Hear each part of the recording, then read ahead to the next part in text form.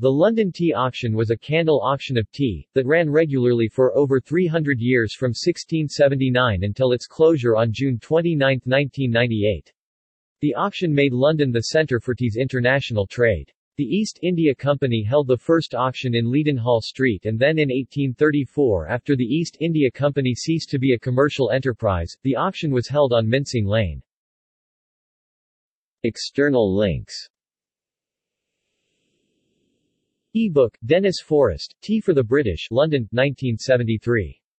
E-book, Anonymous, A Tea Dealer, Tsiology, A Discourse on Tea and C and C Business, The Economy, Storm in a Teacup London Tea Auction Abandoned, The candle that was lit in 1750 will be extinguished in June 1998 Britain's Great Tea Ceremony ends after 300 years Audio, Tea Auction 1936 by The Candle